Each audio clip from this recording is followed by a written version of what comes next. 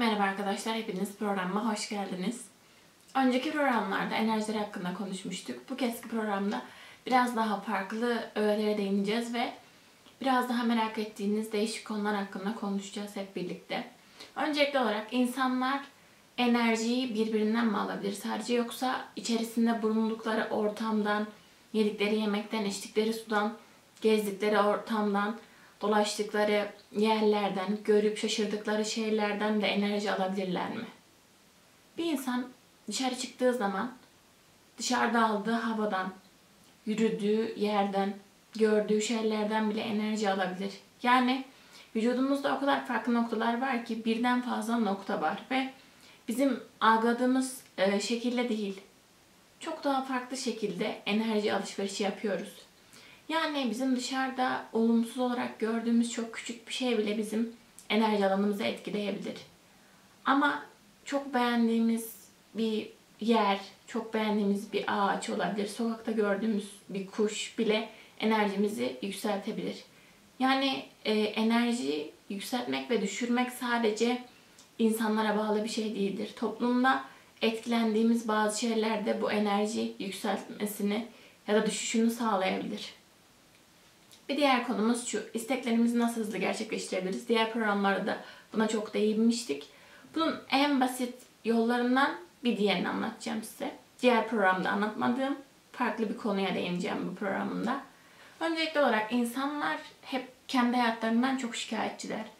Mesela çok güzel bir hayat yaşayan bir insana bile sorsanız mutlaka şikayet ettiği şeyler vardır.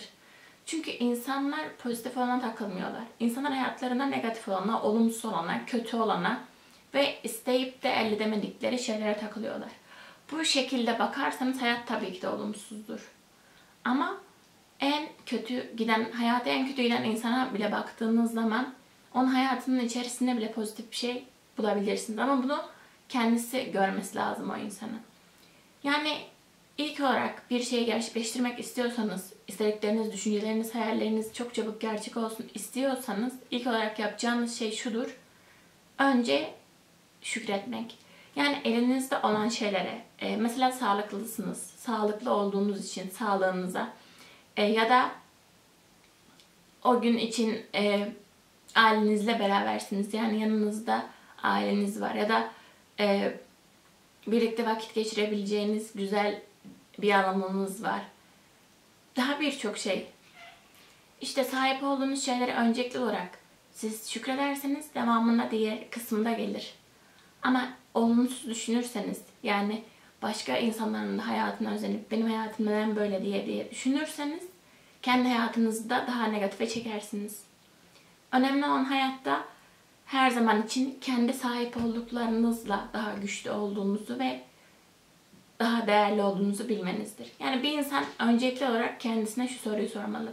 Kendini değerli mi hissediyorum ben yoksa değersiz mi hissediyorum? Bir insan eğer kendisini değersiz hissediyorsa neden değersiz hissettiğini yazmalı. Yani ne sana kendini değersiz hissettiriyor? Değerli hissedenler için söylemiyorum bunu. Ama değersiz hisseden insanlar kendinizi eğer ki değersiz hissediyorsanız neden kendinizi değersiz hissettiğinizi yazmalısınız. Bunu oturup düşünün. Yani bir konuda kendimi değersiz hissetmiştim. Şunu yaşamıştım. Değersiz hissetmiştim. Yani neden kendinizi değersiz hissettiğinizi bulmanız çok önemli. Önce kendiniz neden değersiz hissettiğinizi bulun. Daha sonrasında bunu iyileştirmeye çalışın. Yani mesela e, diyelim ki insanlar çok kıran birisi misiniz? Özür dilemeyi deneyin. Yani bir egonuza takılan yani egonuzla ilgili bir sorununuz mu var? Yani e, aşamadığınız bir şey mi var? Bunu kendiniz yavaş yavaş aşmaya çalışın. Aslında çok basit. Öncelikli olarak bizim kendimizi anlamamız gerekiyor iyileşmemiz için. Çünkü neden? İnsan eğer ki kendini tanımazsa dışarıdaki şeyleri nasıl anlayabilir? Öncelikli olarak insan kendini tanırsa bir şeyler başarabilir, bir şeyler yapabilir hayatta. Neyse konumuza dönelim. İsteklerimizi gerçekleştirmemiz için birinci yol neydi? Öncelikli olarak sahip olduğumuz şeylere şükredecektik. Daha sonrasında isteklerimizi, dilediğimiz şeyleri sürekli olarak dile getirmeyip serbest bırakacaktık. Yani bir şeyi sürekli dile getirdiğimiz zaman olmazdı. Öncelikli olarak elimizdekilerle mutlu olup daha sonrasında isteğimizi, dileğimizi için dua edip beklememiz gerekiyor. Bir diğer konumuza geçelim. İnsanları negatife çeken, enerjisini çeken şeyler nelerdir? Mesela sabah yataktan uyandığınızda çok yorgun uyanıyorsunuz değil mi? Ya da çok e, dinlenememiş gibi.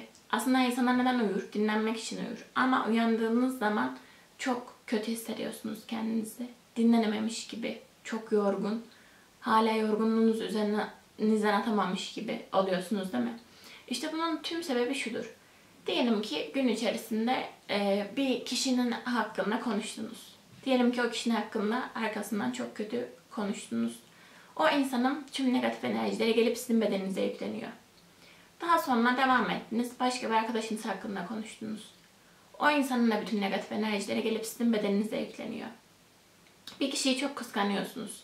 O insanın negatif enerjileri de sizin üzerinize yükleniyor.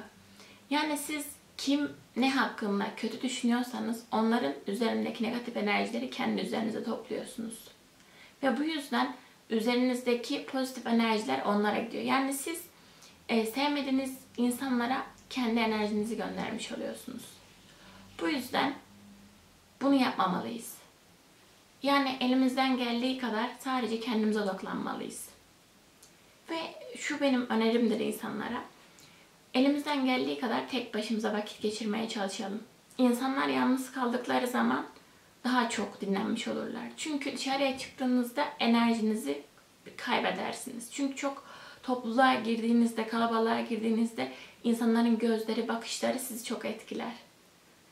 Ve sizin pozitif enerjiniz kaybolur. Bazen çok başınız ağrır dışarıdan geldiği zaman. Bazen kendinizi çok yorgun, bitkin hissedersiniz. Bir diğer konumuza geçelim. Nazar. Nazar gerçekten var mıdır ve insanlar gerçekten bakarak bir insana bu kadar çok zarar verebilir mi?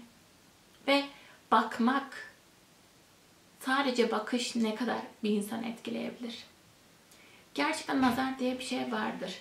Ve nazar insanların çoğunu etkiler. Oldukça etkili olan bu nazar nedir peki?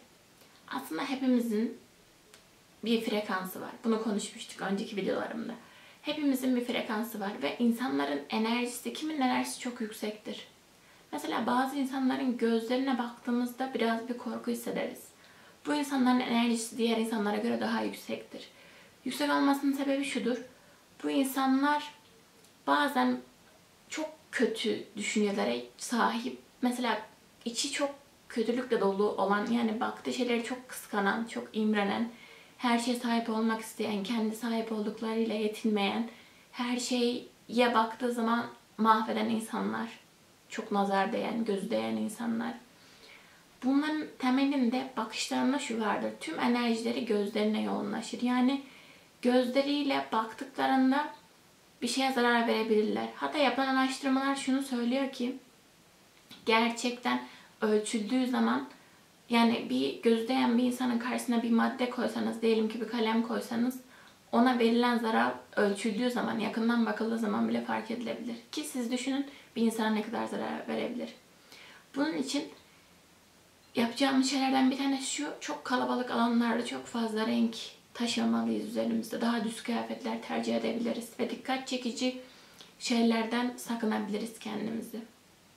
Ama şunu söyleyebilirim. Mesela çok kalabalığa çıktığınız zaman çok başınız ağrıyorsa ya da çok yorulduğunuzu hissediyorsanız eve geldiğinizde sizin enerji alanınız çok düşük demektir. Yani enerji alanınızda bir açıklık var ve oradan insanların bakışları sizin olan enerjinizi de kendisine çekiyor. Yani insanların arasına girdiğinizde e, bir baş ağrısı ve yorgunluk hissediyorsanız eve geldiğinizde enerji alanınızda bir açıklık var ve oradan insanlar sizin enerjinizi alıyor demektir.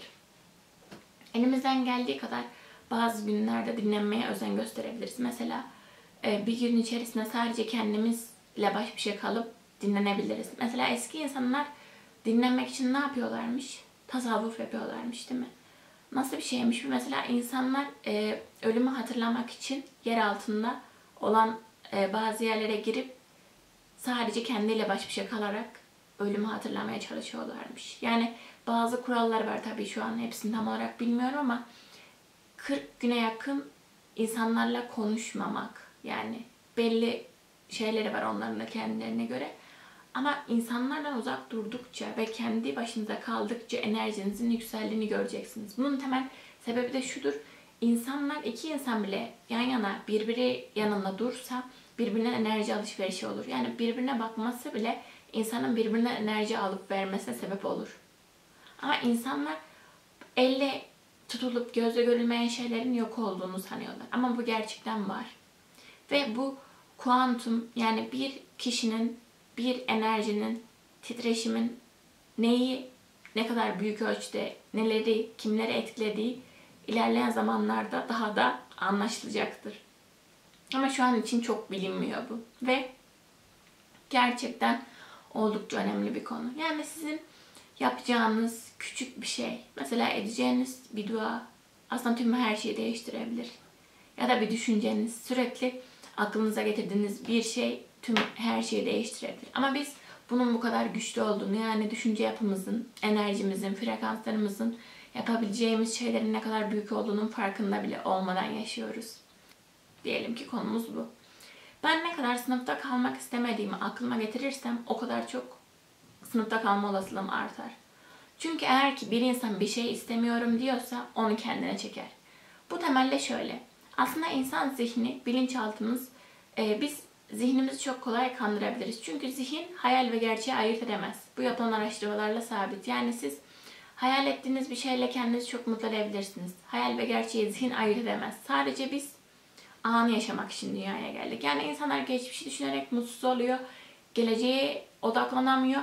Anı yaşasak sadece. Sadece anı yaşayabilen insanlar gerçekten mutludur. Şöyle düşünelim. En başa dönelim. İlk olarak yapacağımız şey şu olsun. Öncelikli olarak bir şey istemiyoruz ya. Diyelim ki hmm, düşmek istemiyorum. Ya da kaza yapmak istemiyorum. İlk bunu söylediğiniz zaman istemiyorum değil de o kaza görüntüsü gözünüzün önüne geliyor değil mi? Ve bunu siz çok tekrarlarsanız eğer bunu mutlaka yaşarsınız. Yani siz neyi ne kadar tekrarlarsanız ona o kadar çok enerji gönderiyorsunuz. Ve o şey gerçekleşerek size geliyor. Peki bu böyleyse birisi çok istediği bir şeyi çok söyleyince neden o gerçek olmuyor? Bunu da size çok basit bir şekilde açıklayayım. Eğer siz bir şey çok istiyorsunuz değil mi? Ee, mesela ne örnek verebiliriz? Diyelim ki e, bir bir telefon almak. Buna örnek verebiliriz. Diyelim ki bir telefon almak istiyorsunuz. Çok istiyorsunuz ki bir telefonunuz olsun. Ama gerçekten içinizden sahip olacağınıza inanmadığınız hiçbir şeyi elde edemezsiniz. Yani aslında insanların paradan korkmasının bir diğer sebebi de şu. Herkes çok parası olsun, zengin olmak ister ama aslında o zenginliğin kendine getireceği zarardan korkar. Mesela neyden korkuyoruz anlatalım. E, diyelim ki çok e, paranız olmasını istiyorsunuz. Birden fazla şeye sahip olmak istiyorsunuz ama dikkat çekeceğiniz için, herkesin göz önünde olacağınız için bu durumlar aklınıza geliyor ve gerçekten kendi içinizde, kendi bilinçaltınızda siz aslında bunu istemiyorsunuz. Her ne kadar bir şeylere sahip olmak isteseniz de her zaman için e, başım ağrımasın. Hani yeterli olanla yetineyim. Hep bu mantıkta olduğumuz için daha fazlasına sahip olamıyoruz. Aslında insanlar bir şeye sahip olmak için bile dua ederken kendi bilinçaltlarında bunu istemiyorlar. Yani bir şeyi çok isteyip de gerçekleştiremiyorsanız emin olun problem sizdedir. Yani bir şeyi bir kez denersiniz olmaz, iki kez denersiniz olmaz, üç kez, dört kez ama daha fazla süre deneyip denediğiniz halde hala olmuyorsa emin olun ki problem sizdedir. Çünkü bir şeyi istediğiniz halde gerçekleşmemesinin tek sebebi bilinçaltınızın aslında onu geri itmesidir. Diyelim ki siz çok zengin olmak istiyorsunuz ama paranın size zarar vereceğinden korkuyorsunuz. O zaman bu gerçekleşmez. Bir diğer konuya geçelim. Diyelim ki siz çok yetenekli bir sanatçısınız ve çok güzel keman çalabiliyorsunuz. Keman çalma kabiliyetiniz var ve bunu yapabileceğinize inanıyorsunuz. Eğitim alıyorsunuz, yapabileceğinize inanıyorsunuz ama bunun size e, bir şey kazandırmadığını düşünüp ya da dışarıdaki insanların konuşmasıyla bu bunu yapmaktan vazgeçiyorsunuz. Yani siz bunu yapmaktan vazgeçtiğinizde sahip olduğunuz yetenekleri, dünyaya geliş amacınızı, yapmanız gereken şeyi de reddetmiş oluyorsunuz. Daha sonra gidip farklı meslekler deniyorsunuz, farklı işler yapmaya çalışıyorsunuz ama ne kadar para kazanırsanız kazanın, neye sahip olursanız olun bir türlü mutlu olamıyorsunuz. Bir türlü kendinizi iyi hissedemiyorsunuz. Ama en başta dönüp o kemanı çalmayı bırakmamış olsanız aslında gerçekten o yeteneğiniz sizi mutluluğa götürecektir. İnsanlar kendi sahip oldukları yetenekleri gerçekleştirmeyi ellerinin tersiyle itip kendilerine daha fazla para kazandıracak işleri tercih ediyorlar. Ve bu sayede hayatlarının sonuna kadar mutsuz bir yaşam sergiliyorlar. Ve şöyle bir şey var, ne zaman öleceğiniz asla belli değil. Yani yarın ölüp ölmeyeceğinizin bir garantisi yok. Ve siz hala sadece toplumun söylediklerini ciddiye alarak yaşamaya çalışıyorsunuz. Öldükten kaç dakika sonra unutulacaksınız peki? Ya da kaç gün sonra size hatırlayacak insanlar? İnsanlar yaşlanmaya başladıklarında ölümü daha sık hatırlarlar ve artık bir şeylere koşturmaya hazır hissederler kendilerini ama koşturacak güçleri yoktur. Koşturacak enerjileri yoktur. Gençken daha hızlı bir şekilde hayallerimizi gerçekleştirebiliriz. Ama pes etmezsek, vazgeçmezsek ve insanların söyledikleri şeylere kulaklarımızı tıkarsak vazgeçmeden gerçekleştirebiliriz. En önemli şeylerden bir tanesi kendimize inanmaktır. Ne kadar çok düştüğünüz değil, her düştüğünüzde yeniden kalkıp harekete geçtiğiniz daha önemlidir hayatta. Çünkü insanlar düşebilir, hata yapabilir, başlarına çok kötü şeyler gelebilir. Ama önemli olan şey vazgeçmeden, durmadan ilerlerseniz size hiç kimse yenemez. Ve sessiz bir şekilde hareket ederseniz hiç kimse sizi bir tehlike olarak görmez. O zaman işte siz kazanırsınız. Bu günlük programımız bu kadar. Beni dinlediğiniz için teşekkür ederim. Kendinize iyi bakın. İyi günler.